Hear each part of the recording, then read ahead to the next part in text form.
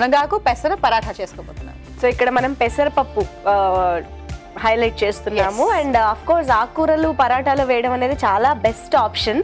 చక్కగా కలిసిపోతుంది అండ్ స్టఫ్లో ఎలాంటి ఇబ్బంది లేకుండా ఉంటుంది.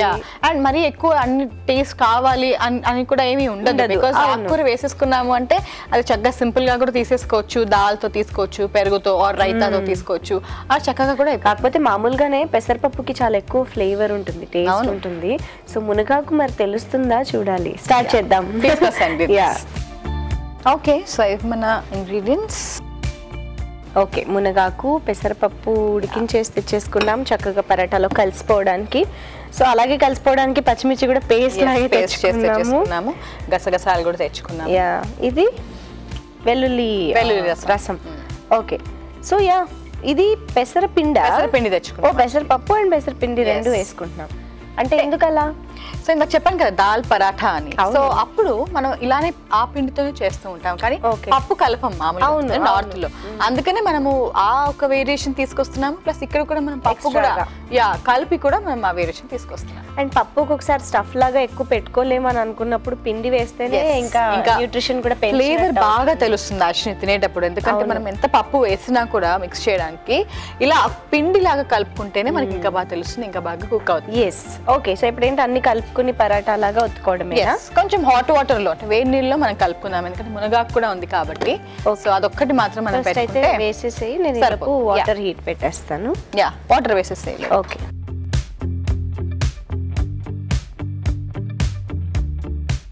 యా ఓకే మునగాకు ఒక్కటేనా? లేకపోతే మొత్తం పిండి హాట్ వాటర్ లోనేనా? మొత్తం అంతా కూడా హాట్ వాటర్లో కలిపేసుకుందాం బికాస్ పెసర పిండి కూడా ఉంది కదా అందుకని Okay.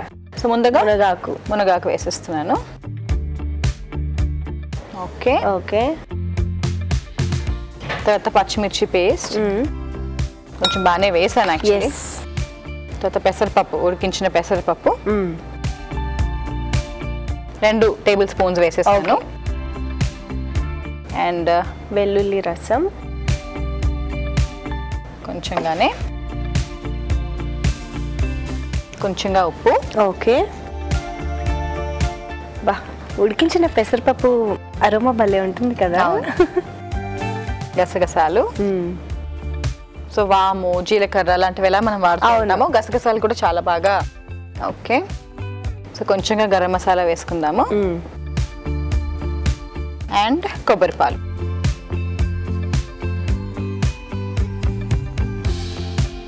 ఓకే.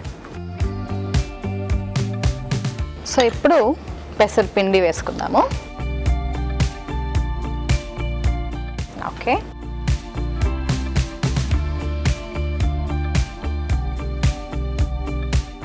చాలా సన్నగా ఉంది. యాక్చువల్లీ పెసరపిండి అవును. అంతా కూడా. అండ్ గోధుమ పిండి కూడా వేసేసుకుందాం. ఓకే. ఓకే. నీళ్ళు వేయనా? ఫస్ట్. కలుపుతావా? ఒకసారి కలిపేస్తాను నేను. దాన్ని బట్టి నీళ్ళు వేసుకుంటే సరిపోతుంది.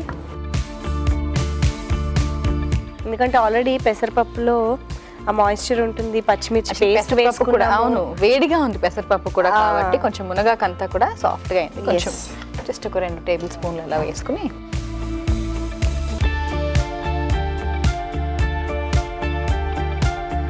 ఒక స్పూన్తో కలిపేసుకో. లేదంటే.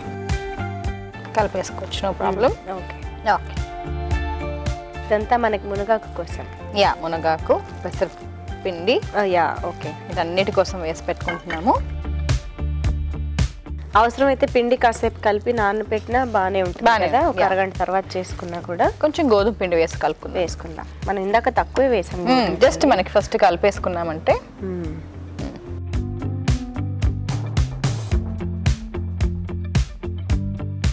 సాఫ్ట్ సాఫ్ట్గా ఉండేలా ఉంటుంది మనకి.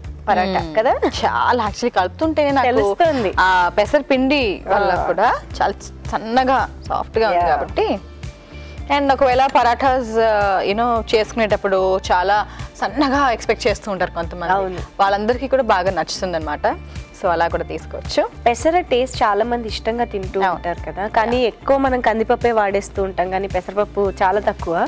ఇలాంటి వాటిలో అయితే ఇంకా ఇష్టంగా తినొచ్చు. అందుకే ఆ టేస్ట్ పోకూడదని నేను గరం మసాలా కూడా చాలా కొంచెంగానే వేసాను. ఉండాలి. బికాస్ కొంచెం డిఫరెంట్ ఫ్లేవర్ స్పైస్ అది ఉండాలి. ఓకే ఓకే సో ఇది సేపు కదా? పెట్టేసుకుందాం. ఓకే పరాటా పిండిలో అయితే కలిపేసుకున్నాం కాబట్టి ఇప్పుడు జస్ట్ కొంచెం థిక్గా ఉత్తుకున్నా మనకి ఇది ప్రాబ్లం ఏమి ఉండదు. ఎందుకంటే పెసరపిండి అన్ని ఉన్నాయి కాబట్టి ఓన్లీ గోధుమ పిండి తిన్న ఫీలింగ్ ఉండదు. ఉండదు. అది బాగుంటుంది. అందుకని కొంచెం మనం థిక్గానే ప్లాన్ చేసుకోవాలి. ఆకుకూర అదంతా వేసుకున్నాం కదా మనము. అవును. అందుకని. ఓకే నేను ఇక్కడ పాన్ కూడా హీట్ పెట్టేశాను. మ్మ్. ఒత్తేసుకుని వేసేసుకోవడమే సో ఇది ఎలాగో మనకి ప్రోటీన్ ఉంది అండ్ మునగాకు వేసుకున్నాం. కాబట్టి యాజ్ డీస్గా అలా తింటే సరిపోతుందా. కర్రీ అంటే వెజిటబుల్ రైతా మనం పెట్టుకున్నామంటే పర్ఫెక్ట్గా Okay. సో ఒక పరాఠాకి ఎప్పుడు కూడా మనం వెజిటబుల్స్ వేయలేదు అనుకుంటే అఫ్ కోర్స్ ఆకుకూర ఉన్నా కూడా Hmm. మనకి ప్లెయిన్ వెజిటబుల్స్ అనేవి ఉండాలి రా వెజిటబుల్ సాలడ్ లాగా కంపల్సరీగా లంచ్ టైంలో అప్పుడు అది బ్యాలెన్స్ ఉంటుంది అనమాట Hmm. సో అలా రైతాతో ప్లాన్ చేసుకున్నామంటే సరిపోతుంది. లేదంటే చాలా మంది మిన్ చట్నీ అలా కూడా వేసుకుంటూ ఉంటారు. అలా కూడా ప్లాన్ చేయొచ్చు. ఓ యా అవును. రెడీయా ఎస్ ఐ మీన్ ప్యాన్ రెడీయా ప్యాన్ రెడీ ఓకే కొంచెం ఆయిల్ వేస్తాను.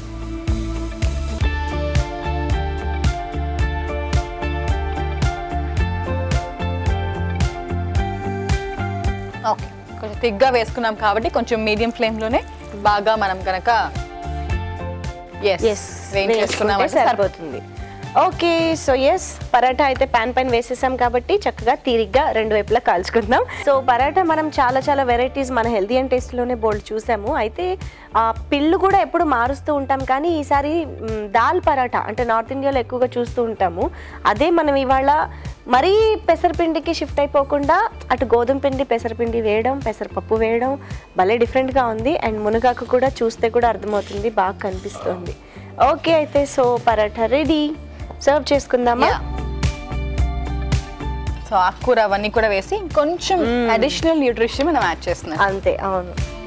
ఓకే అండి వేడివేడిగా పరాటా అయితే రెడీగా ఉంది. మేము టేస్ట్ చూడడానికి బట్ దానికంటే ముందు దీని తయారీ విధానం కావాల్సిన ఇంగ్రీడియంట్స్ ఇంకొకసారి చూసేయండి. మునగాకు పెసర పరాఠాకి కావాల్సిన పదార్థాలు. మునగాకు ఒక కప్పు పెసర పిండి అరకప్పు గోధుమ పిండి ఒక కప్పు పెసరపప్పు అరకప్పు పచ్చిమిర్చి పేస్ట్ ఒక టేబుల్ స్పూన్ వెల్లుల్లి రసం ఒక టీ స్పూన్ ఉప్పు తగినంత కొబ్బరి పాలు ఒక టేబుల్ స్పూన్ గసగసాలు ఒక టేబుల్ స్పూన్ నూనె ఒక టేబుల్ స్పూన్. మునగాకు పెసర పరాటా తయారు చేసుకునే విధానం. ముందుగా ఒక బౌల్లో మునగాకు పచ్చిమిర్చి పేస్ట్ పెసరపప్పు వెల్లుల్లి రసం తగినంత ఉప్పు గసగసాలు గరం మసాలా కొబ్బరి పాలు పెసరపిండి గోధుమ పిండి వేసి బాగా కలిపి కొద్దిగా వేడి నీళ్ళు పోసుకుని పరాటా పిండిలాగా కలుపుకోవాలి. దీన్ని పరాటాలాగా ఒత్తుకుని పాన్ పైన నూనెతో రెండు వైపులా కాల్చుకుని సర్వ్ చేసుకుంటే మునగాకు పెసర పరాటా రెడీ.